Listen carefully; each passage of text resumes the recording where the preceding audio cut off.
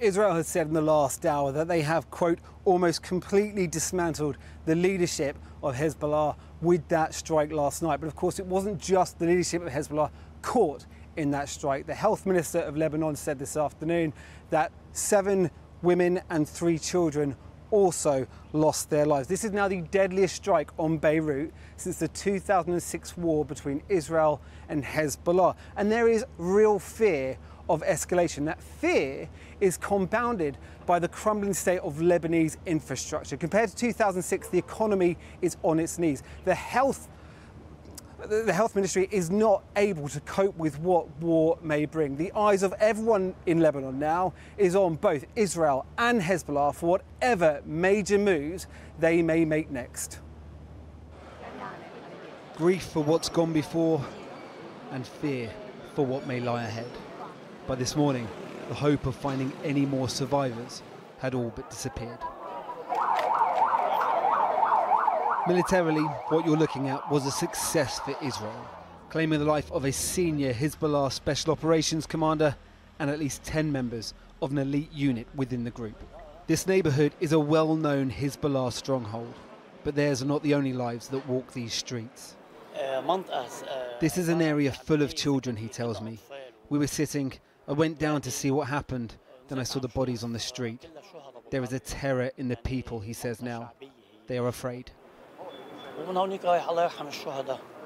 Their fear, a full blown war, many more airstrikes like this.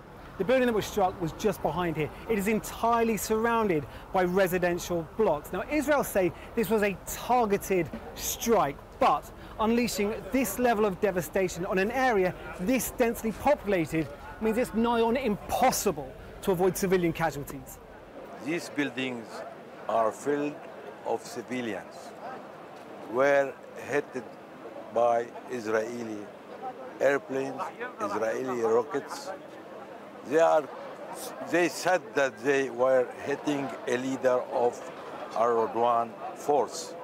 That's true, but it's not a hit a single hit for this leader. There are 35 civilian dead in this massacre. By this evening, the death toll had reached 37. The target of this strike was Ibrahim Aqil, a senior leader in charge of the Hezbollah arm responsible for cross border operations into Israel.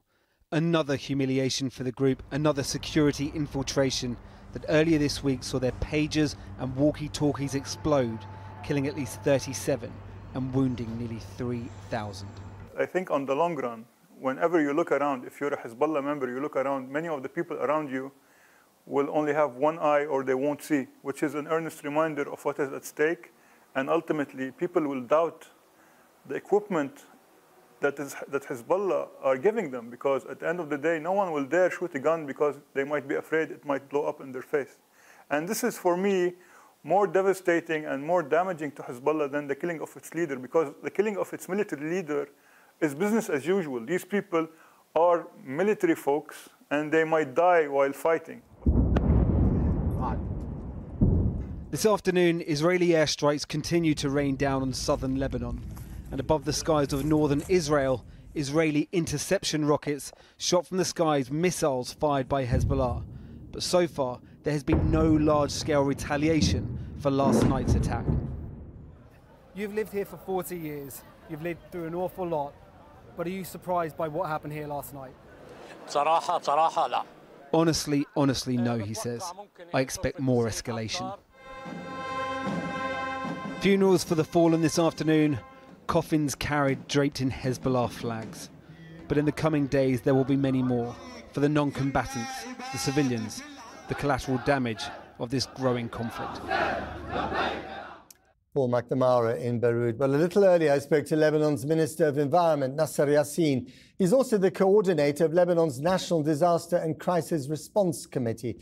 I began by asking him for his reaction to yesterday's strikes by Israel the uh, Israeli occupied forces uh, have been in aggressive mode for decades in Lebanon, but we've seen new shapes recently. The last week, we've seen an unprecedented, unseen uh, uh attack on people carrying pagers, beepers, indiscriminate in many ways, violating international humanitarian law, uh, violating uh, Geneva Convention. The government of Lebanon is hosting an organization called Hezbollah, which is using its rockets to target civilians in northern Israel, 60,000 of whom have had to move out of their homes. And that's why they've launched this attack this week in order to stop those attacks from continuing. Uh, Lebanon also has more than 115,000 displaced from the southern towns and villages on the borders. We are actually uh, want to respect 1701, the UN resolution that actually uh, was issued in 2006 after an Israeli war mm. at that time. And this is the position of the government to get back the Lebanese displaced into their villages and towns and to get the UN and the Lebanese army to patrol the borders. But you're not in a position to stop Hezbollah, are you? They can do as ever they please. You really have no jurisdiction over them. They're acting like a state within a state. Well, uh, uh, Lebanon has uh, historically uh, resistance, resistance movements uh, due to the Israeli occupation for decades. And uh, it's very clear when Israel stops breaking and violating the sovereignty of Lebanon and all the UN and international resolutions and conventions, uh, this will stop. But Nasser, Iran is using Hezbollah as its long arm to attack Israel from Lebanese territory. So, what are you going to do? What can you do to stop Hezbollah from doing that? Hezbollah is uh, part of uh, the Lebanese parliament. They're, they have a, a significant block in parliament. But Always dependent on Iran. And dialogue. They, they have their connections, as many groups in Lebanon have their connections. Would you call on Hezbollah to exercise restraint at the moment, however humiliated they might have been by these pager and walkie talkie attacks? You know, the Lebanese government uh, uh, has been in dialogue uh, directly or indirectly uh, with Hezbollah. Lebanon has always been saying officially and through different channels that all what we seek is actually mm. to stop this war. You know, you're in a very tough position. You have been for a very long time. You've got a financial crisis. You've got more than, I think, a million and a half Syrian refugees still living in your small country. Um, You've got, yeah, I don't think you've got a president at the moment. There's a political vacuum. Are you becoming a failed state? We continue to take the responsibility to get along to protect people. But definitely, definitely, we're under a lot of strain.